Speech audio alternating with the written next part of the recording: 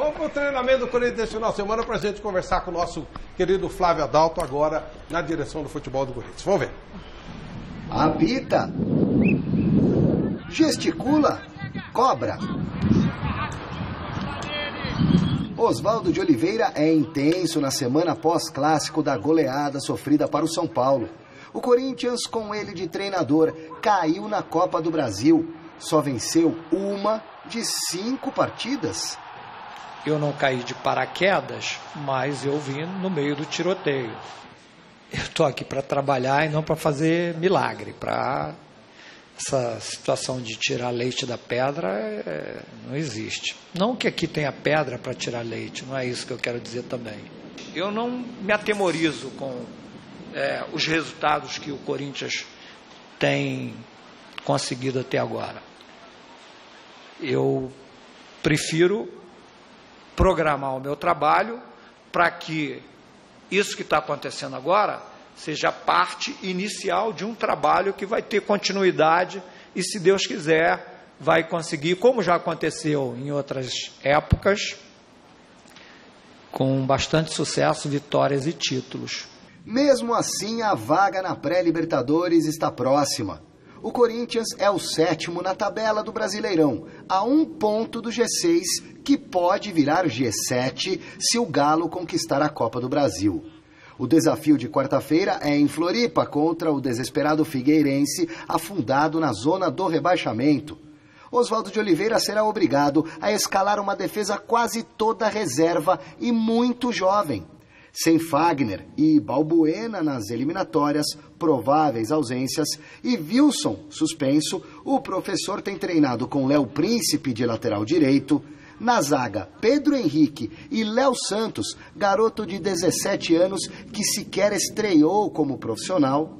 E Marciel, volante improvisado na esquerda, já que o Wendel realiza trabalho específico para atenuar dores musculares. E Guilherme Arana, substituto imediato, está a serviço da seleção sub-20. Camacho de volante, junto com Williams, Giovanni Augusto e Marquinhos Gabriel nas pontas. Rodriguinho armando por dentro, Luca de centroavante. Escalação do coletivo de ontem, com o goleiro Walter de titular. E o Cássio? Volta para o banco? Vai jogar sempre quem eu julgar que está em melhor momento. Né? Não, é, não há uma situação definitiva para mim. É, Oswaldinho, dizem que um grande time começa por um grande goleiro. E o Corinthians, nesta posição, pelo jeito, está bem servido. Então, que os homens de linha façam jus nas quatro rodadas finais e garantam a vaga. Antes da gente conversar com o Flávio, troféu mesa redonda. Os jornalistas estão com a palavra, três de cada posição já escolhidos. Vai ser uma festança, Michelle. É verdade, Flávio. Agora, a votação que você fez pela internet, agora os nomes estão com uma comissão de jornalistas de todo o Brasil. E eles vão escolher os vencedores. A gente nem tem ideia de quem pode ser o vencedor. Mas essa grande festa vai ao ar que dia, Flávio? Vai ao ar dia 11. 11, 11 de, de dezembro. É. 11 de dezembro vai ao ar o Troféu Mesa Redonda. E a gente quer agradecer três grandes empresas que estão conosco na 13ª edição do Troféu Mesa Redonda, o Oscar do Futebol Brasileiro, a grande Lux Color, a nossa querida Baltec e a cerveja A Outra, fazendo uma festa espetacular para vocês. Vai ser uma festa maravilhosa. Bacana. Flávio, já Vamos deu para você fazer um diagnóstico do time? Não é o momento ainda, enfim, em que estágio está o seu trabalho que a gente sabe mal começou? Bem, Flávio, inicial é óbvio, o meu, o do Oswaldo, de vários jogadores e projetando 2017 sem esquecer que a gente tem 2016. A gente não esqueceu não, a gente está confiante, a gente acredita que nesse ano ainda vamos atingir o mínimo que a gente poderia atingir para um time que se modificou todo, para um time que mudou toda a sua estrutura. E eu vejo algumas desconfianças, né? algumas pessoas falando o que é que vai acontecer. Vai acontecer muita coisa, o Corinthians vai se reestruturar, o Corinthians vai, dentro das suas possibilidades e necessidades, ter reforços no ano que vem. A gente não vai ficar citando nome, você cita um nome de jogador, aparecem mais 10. Você cita 10, aparecem outros 10, fica 20. Um jogador que você pensa na inicial em ter um determinado valor de investimento, ele dobra ou triplica a partir do momento em que surge algum interesse. Então, hoje, a gente não tem interesse em mais ninguém. A gente tem interesse é nesse time, em conseguir vencer o Figueirense no meio de semana. A gente vai estar lá com um time remodelado, reformulado, mas com ganas de vencer. Posteriormente, a gente vai ter um jogo contra o Inter de Porto Alegre, vai ter Cruzeiro, a gente vai ter ainda é, que encerrar esta fase de competição. Tem o mais importante, um jogo direto contra o Atlético Paranaense. É muito difícil você falar, eu já vi tudo, eu conheço. Não, ninguém conhece nada. Eu disse outro dia, eu vou estar lá permanentemente aprendendo, mas sabendo que o Corinthians pensa grande, não pensa pequeno, não aceita esse momento não quer viver em 2017 isso que está vivendo agora, não é nenhuma catástrofe, mas para o corintiano, abaixo do primeiro lugar já é péssimo, segundo é horrível. Qualquer posição que não seja a conquista de título para o corintiano é um negócio assim dramático. E esse dramatismo a gente não vai querer que ele atinja esta equipe nesta reta final. São quatro jogos com possibilidades amplas, com um confronto direto de chegar à Libertadores. É tudo? Sim, é tudo que a gente tem para hoje, é tudo que a gente pode almejar neste momento. O resto seria sonho. E em relação ao Oswaldo Oliveira, que eu vi falando agora há pouco, ele não caiu de paraquedas, não.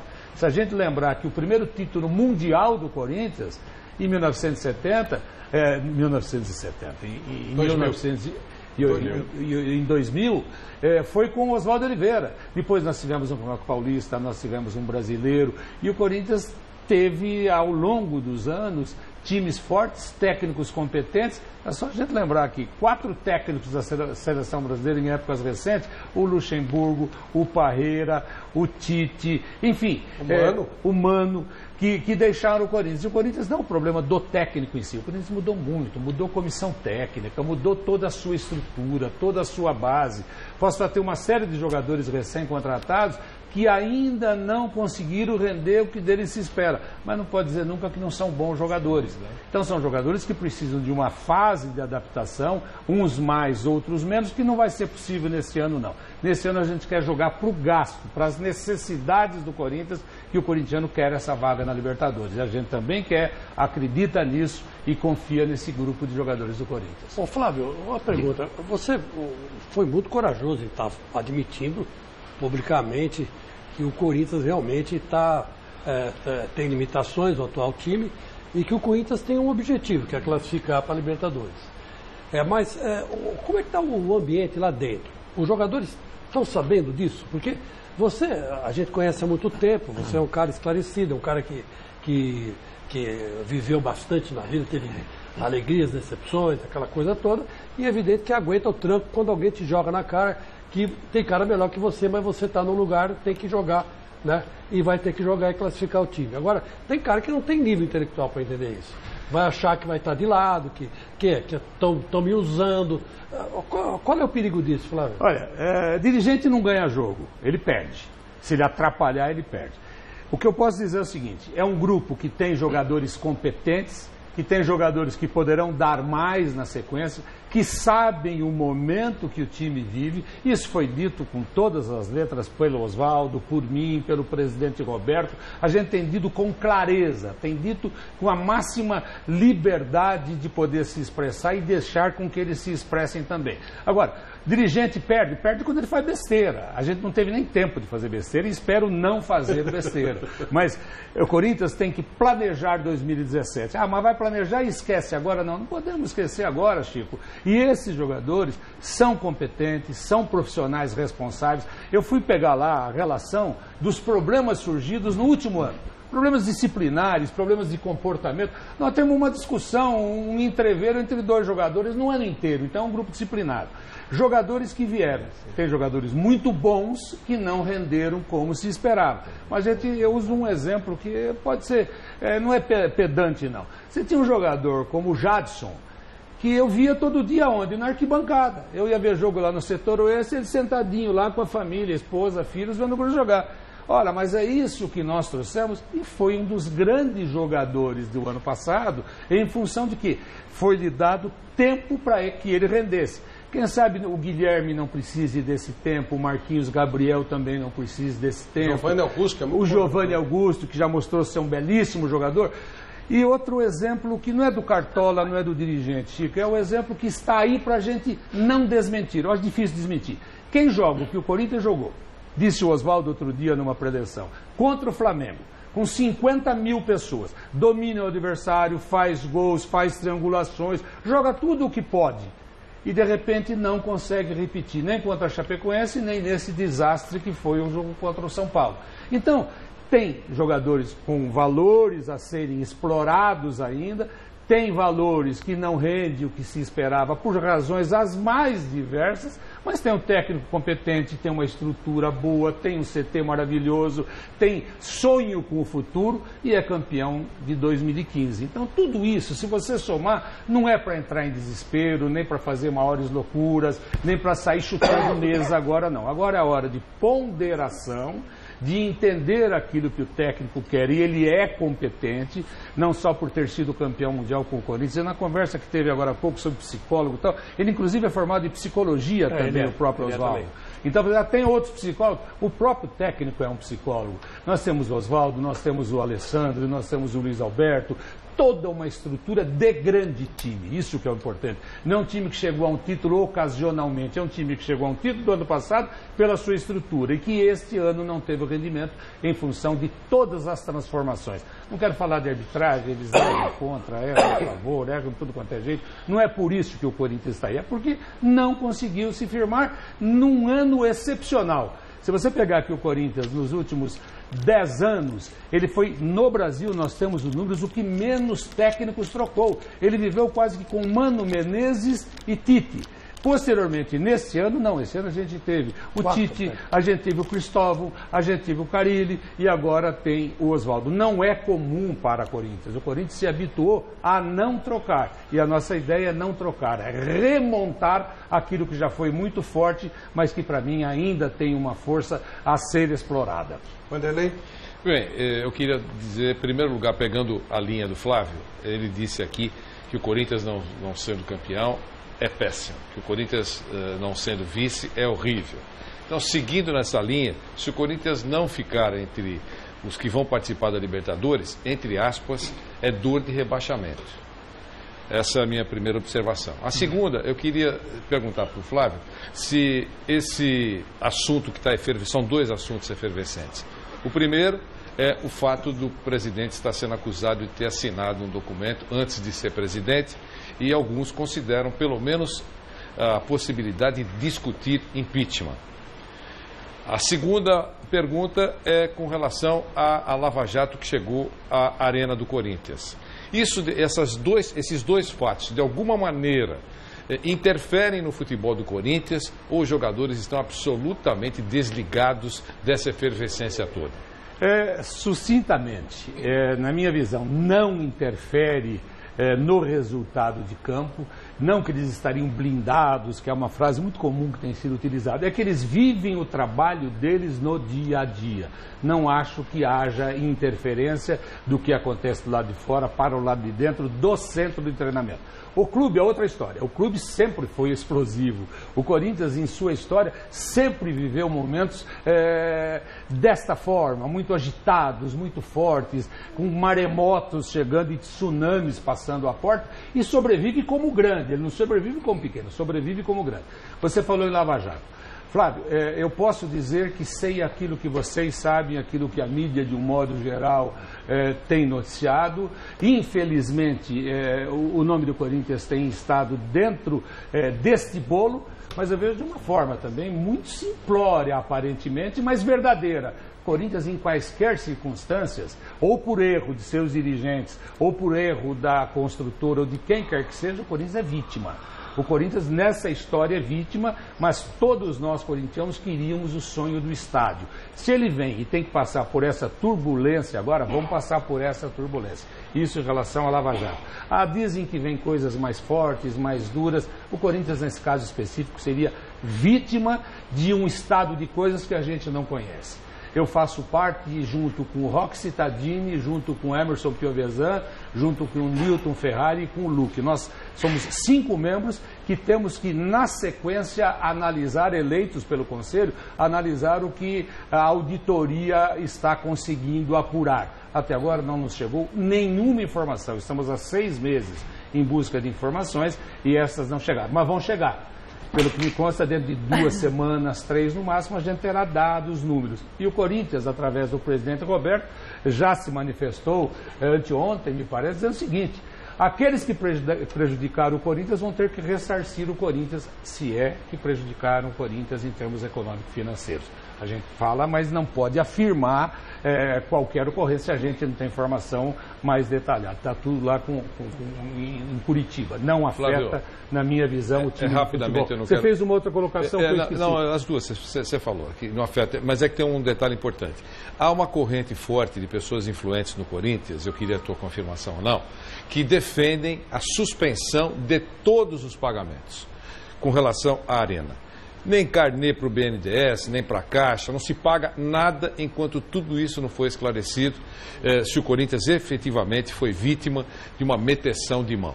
Eh, eh, sobre essa possibilidade de se suspender de imediato ou dentro de alguns dias todo e qualquer pagamento, até que tudo seja esclarecido, essa possibilidade existe? Ela pode vir a existir não é um assunto alheio àquilo que tem sido discutido, tem sido discutido todas as vertentes em relação ao futuro do Corinthians, ao futuro da Arena, à dívida, qual é a dívida real, qual é a dívida irreal, enfim, tudo isso está sendo discutido e tem a anuência da diretoria. A diretoria não se esconde, não. O Roberto não tem se escondido, não, mesmo diante de algumas ameaças, algumas que podem ter algum efeito, outras nenhum efeito. Eu acho que neste momento não é momento. Para aquele que é corintiano de verdade, fazer marola. Eu acho que esse é o momento de a gente ter compreensão, de a gente conviver com o fato que está aí, não esconder, não jogar nada para debaixo do tapete, mas é difícil para o presidente, é difícil para mim como diretor, para os demais dirigentes, presidente de conselho, presidente de core, você ser taxativo em alguma afirmação, que você pode ser surpreendido surpreendido com alguma coisa que possa ser positiva ou negativa. Agora, simplesmente falar em suspender, dar calote, isso não, não, não, rima nem com o Corinthians. A gente vai querer sim é ter conhecimento real de tudo o que aconteceu. É um direito que o Corinthians tem. E pagar aquilo que ele julgar que seja, seja justo. Isso está sim em pauta, não é nada para ser escondido, não. O Godoy vai perguntar, o Helena também, e o telespectador também quer sim. falar com o Flávio Adalto. É isso, é, Exatamente. Mandou pergunta aqui então, para Então vamos lá. Sou eu? Sim. Ah, então tá bom. bom Boa noite, Michele. Boa noite. Não, Boa achei noite. que era o Godoy primeiro. Não, é o seguinte, Flávia Dalto, os nossos telespectadores estão mandando mensagens aqui questionando o seguinte, o que, que você acha desses treinos longos do Oswaldo de Oliveira à frente do Corinthians, né? Ele tá Uh, deixa treinos de uma hora e meia, às vezes duas horas. Se isso uh, não pode fazer com que o elenco se volte contra o treinador e se isso não desgasta muito o time antes de uma partida de futebol importante. É, é, eu estou rindo porque ele explicou isso na coletiva, é. explicou a todos e para nós não tinha que dar justificativa nenhuma, a gente está acompanhando. Ele tem dosado, é, individualizado a carga de trabalho.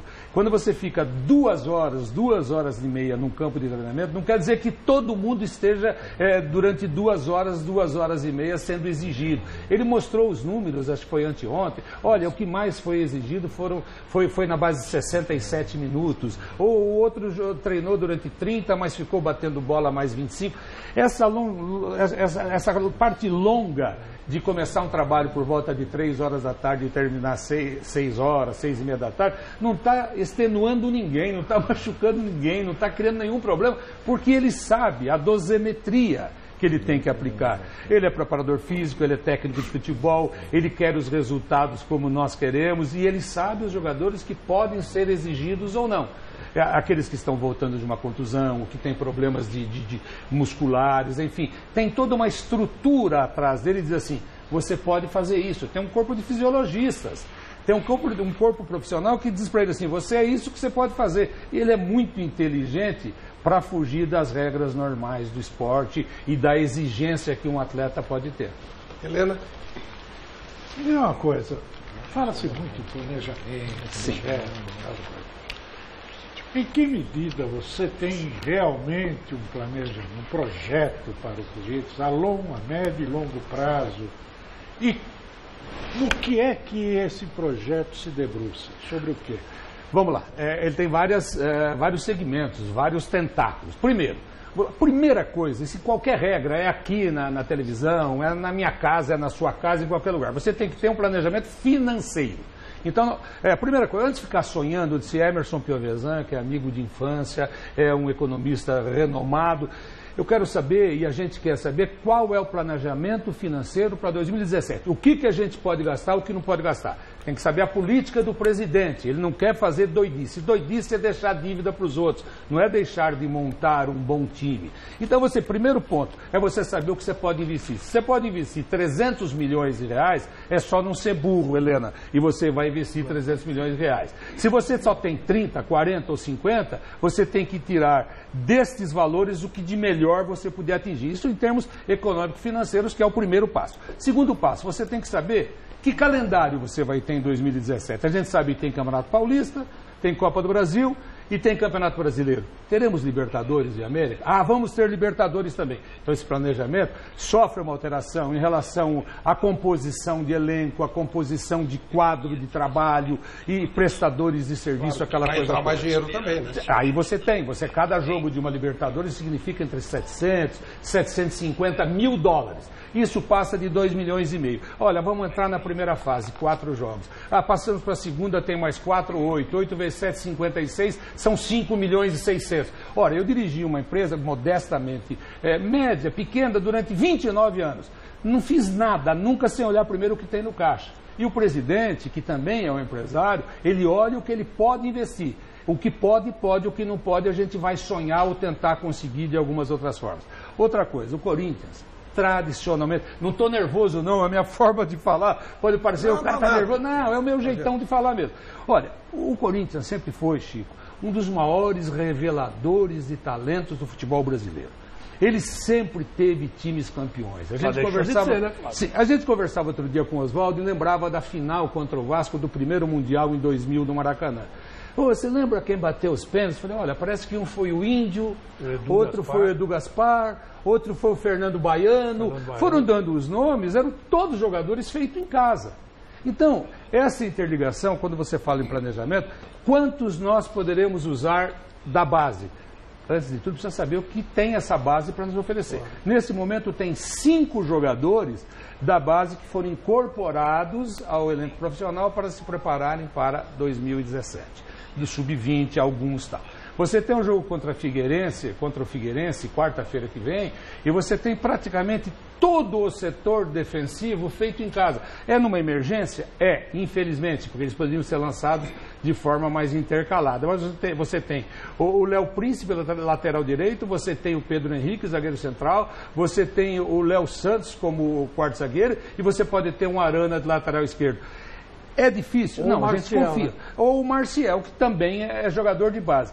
Isso o Corinthians precisa resgatar, porque aquele que tem amor à camisa, aquele que impulsiona os outros que vêm de fora e vêm com outra, outra característica, outro tipo de comportamento. Então, essa é uma outra parte também do planejamento. E você tem coisas que você não espere que acontecem ou que você espera muito e também não acontecem. Você trazer reforços e esses reforços não renderem aquilo que você espera ou que rendiam em outros lugares. Então, não é uma ciência exata. No futebol não é, não é na base do 2 mais 2 são 4, não. 2 mais 2 pode dar 7 como pode dar 2. Pode não dar nada. Então, esse tipo de coisa a gente espera que não ocorra com o Corinthians. Agora, não levar em consideração, Roberto, que foi o time que mais deixou sair jogadores por uma série de circunstâncias, que refez o elenco no meio da competição e que no meio da competição deste ano ainda perde mais três ou quatro jogadores, perdeu Felipe, perdeu Bruno Henrique, perdeu Elisa, estou dizendo desse grupo de hoje, já não Perdeu de Tite, 2015 com o Tite.